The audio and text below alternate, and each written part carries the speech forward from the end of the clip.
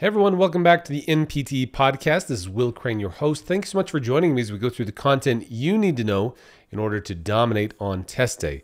So today we've got a practice question for you related to the non-systems. So as you recall, the non-systems it encompasses somewhere around 30 questions on the exam. Today we'll be talking through the research and evidence-based practice section of the non-systems. But before we get that get to that, just a reminder that we have ongoing courses over at PT Final Exam.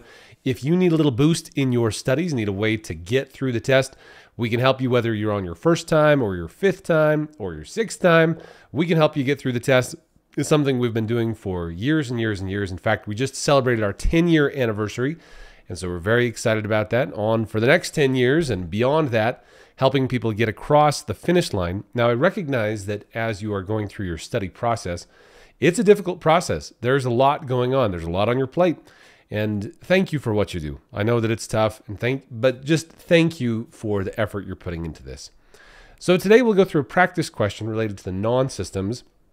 So as you recall on the non-systems, there are somewhere between 3 and 5 questions related to research and evidence-based practice. Now on test day, I, I can guarantee that the research and evidence-based practice questions you get are going to be vexing and unpleasant simply because I mean, with rare exception, I would argue that us as PTs that we don't again, with rare exception, statistics tend to give us a little bit of grief. And again, I I hearken to all the emails and experience that I've had over the last 10 years of students who have been very worried about all of the non-systems, but especially about research just because it encompasses so many things and a whole science that perhaps we're not as familiar with as we should be. And so that's my goal today is to talk through at least one of these concepts. And we've talked about this before, but it's a good one to review again because of the concepts that are likely to be tested on test day. This is one of them. So let's go ahead and put this, we'll couch this in the in the context of a practice question and see if we can parse it out. So here we go. A physical therapist is evaluating the utility of a new diagnostic special test. According to the research, the new special test has the following statistical indicators sensitivity 45%, specificity 85%. Which of the following statements is most correct regarding this test? So again, we have a new special test. The sensitivity is 45, the specificity is 85. Which of the following statements is most correct regarding this test? One, the test correctly identifies 15% of true negatives. Two, the test correctly identifies 45% of true negatives. Three, the test correctly identifies 55% of true negatives. And four, the test correctly identifies 85% of true negatives. So we have a sensitivity and specificity of 45 and 85. And then the, the options really are the test correctly identifies 15, 45, 55, or 85% of true negatives. So, as you know, whenever you're talking about identifying true negatives, you're talking about specificity. And so specificity, you're going to hone in on that, that part of the statistic, specificity being 85%. Therefore, how would you best interpret 85% specificity? Well, what this really means is that you are correctly identifying 85% of people who truly don't have the disease. So think about it in those terms that people who are truly negative, you have correctly identified 85% of those. So as you recall, a false positive, people who don't have the disease but are, but are tagged positive, that would be a type 1 error. Specificity has to do with type 1 errors as a proportion, or I should I should say it this way, the other way, that specificity is about true negatives, people who don't have the condition who are tagged as negative, as a proportion to the entire population who does not have the disease.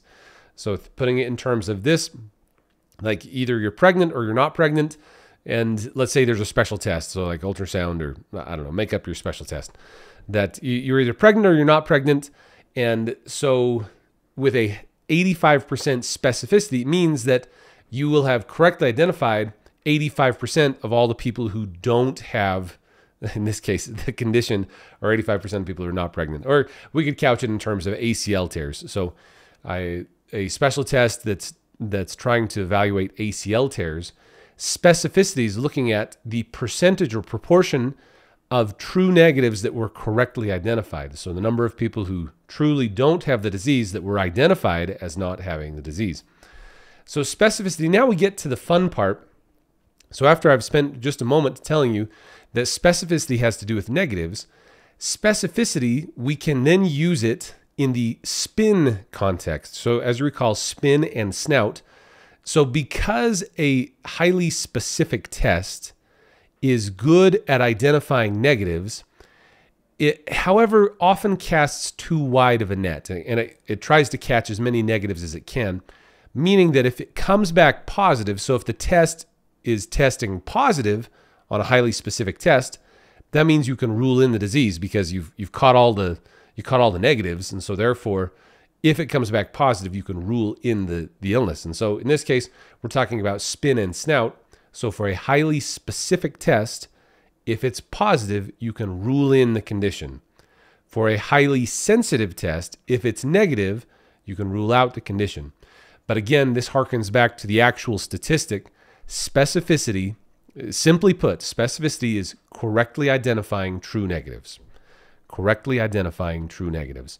And so, those of you who are looking at and watching this on the podcast or watching this on YouTube, you're able to see and able to really digest the numbers here. So in a in a real sense, really what we're talking about here is that a 85% specificity means that you have correctly identified 85% of people who truly don't have the disease or of true negatives. So there you go. That is specificity in a nutshell. And remember, you can still use the rule spin and snout, but just remember it's based on the underlying statistical principles here spin and snout. And I, I remember very literally my head spinning during our statistics class in PT school because I was having a hard time wrapping my mind around what exactly spin and snout was referring to. But specificity is identifying true negatives. It identifies true negatives so well that if it comes back positive, you can rule in the disease. And uh, we've talked about this in previous episodes, and certainly you can check out all the videos we have over on YouTube. I've got a got one about sensitivity and specificity as well.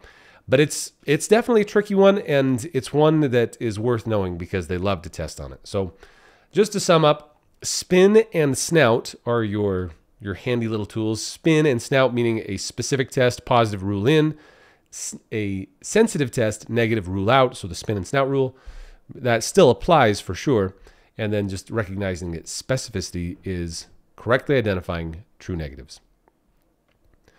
All right, well, with that, we'll bring today to a conclusion. As always, be sure to check out all the other episodes we have over on the podcast. You can find us over on YouTube. If you enjoy seeing the episodes and being able to to see all the questions, you'll you'll enjoy that. And, um, and please take a moment to leave us a review over on Google Play, iTunes, Spotify, wherever it is that you're listening to this. It helps so much, and it only takes a moment. So if you haven't done it already, just just take a moment, use your phone, just head over and give us a quick review. It just helps us get the word out, and I'd, I'd very much appreciate it. So with that, we'll bring it to a conclusion. I'll catch you all in the next episode. In the meantime, have a fabulous day, happy studying, and I'll talk to you soon. Thanks.